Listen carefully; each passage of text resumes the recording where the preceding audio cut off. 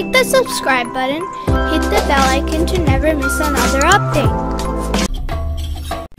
Prophet Musa went to the palace of Pharaoh at God's command to invite him to worship the one God. Pharaoh had summoned many wizards to show power to the palace. When the rod of Prophet Musa became a great snake and devoured all the wizard snakes, everyone was shocked.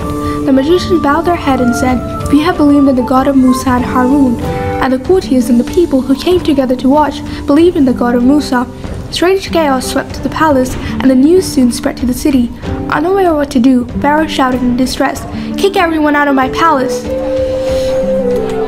The next day, Pharaoh instructed some of his men in the city to proclaim that Musa is a great sorcerer who must be thrown out of Egypt, otherwise he will be tormented by the idols all his life. Because of this, many people remain pagan. When the idolaters rejected Prophet Musa's invitation, God sent down upon them a disastrous drought. The Nile River dried up. Not a single drop of rain came. Whatever idolatrous sacrifices were made to the idols came to no avail. The magic of the magicians and wizards were also ineffective. People began to ask help from Prophet Musa, as water shortage was so severe that people could not feed their animals. Prophet Musa said to them, If you repent and believe in God, He will help you. People agreed. Prophet Musa asked God to eliminate the drought. Prophet Musa's prayer was answered. It rained and the Nile River was full again, but the people forgot their promise and ridiculed Prophet Musa. It was rumored that the drought would suit Prophet Musa. They continued their idolatry, and Pharaoh continued his oppression. Sometime later, God sent another punishment.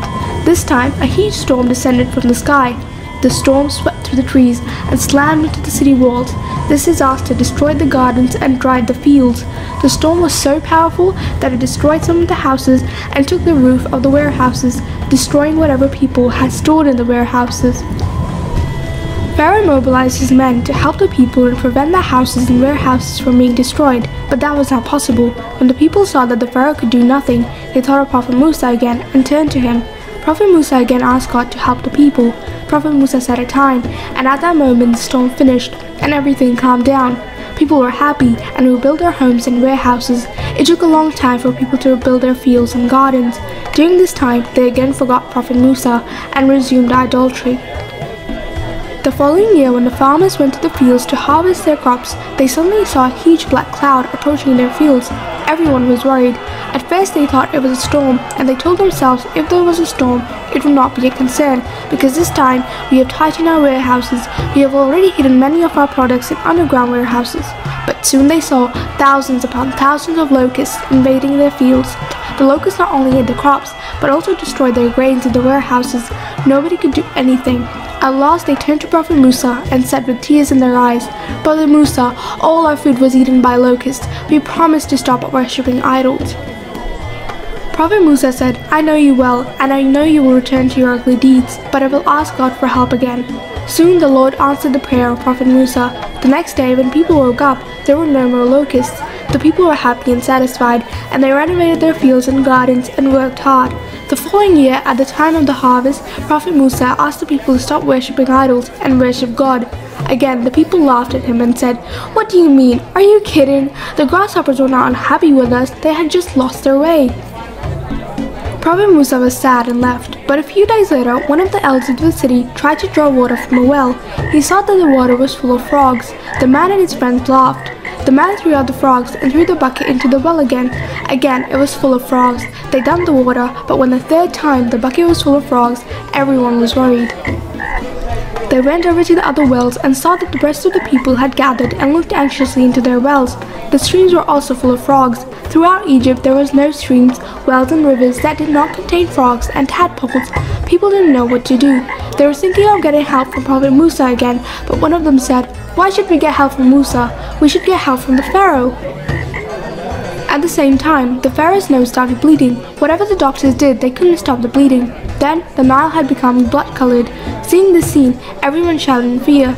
They ran to the town square and shouted, Blood! The Nile River is full of blood! Pharaoh came to the river to see everything with his own eyes.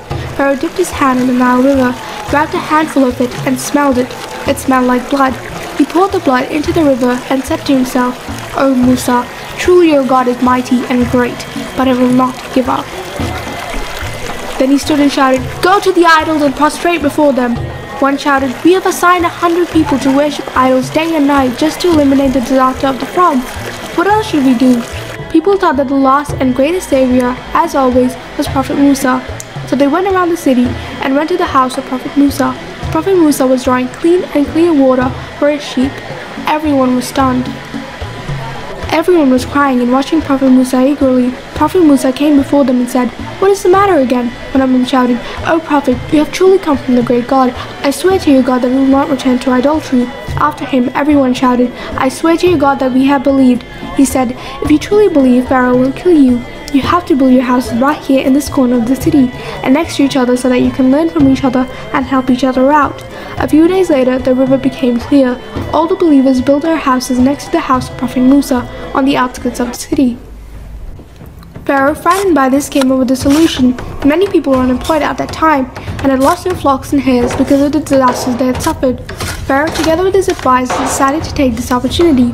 He said, I want to build the largest tower in the universe and go alone and fight with the god of Musa. Pharaoh employed 50,000 architects and hired tens of thousands of workers. Construction of the tower began and took years. Several people died while building the tower. Finally, the tower was built. The tower was very large. The day of the tower's inauguration came. Pharaoh climbed the stairs of the tower with horses. Several people and troops accompanied him. When they reached the top of the tower, Pharaoh shot an arrow from his bow into the sky. At the same time, a crow was flying around. The arrow hit the corner of its foot, but the crow freed itself of the arrow, and the arrow fell again to Pharaoh's feet. Pharaoh happily picked up the arrow and saw the blood on it. I killed him, he shouted. I killed the god of Musa. Everyone rejoiced as they saw the bloody arrow and came down from the tower. The news quickly spread around the city. Some people believed the story, but the companions of Prophet Musa laughed at the news and did not give up their faith. However, the tower had become the symbol of Pharaoh's power, and people from other lands came to see the tower. Everything changed in the middle of a stormy night. A huge thunderstorm descended from the sky and went around the tower and encircled it. The guards of the tower alerted Pharaoh. Then Pharaoh shouted, Oh Musa, if the tower breaks down, I'll kill you and your companions. God commanded Prophet Musa to leave Egypt at night.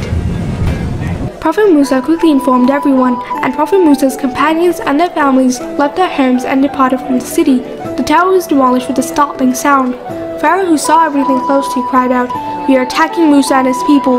But Pharaoh and his troops were very far away from Prophet Musa and his companions.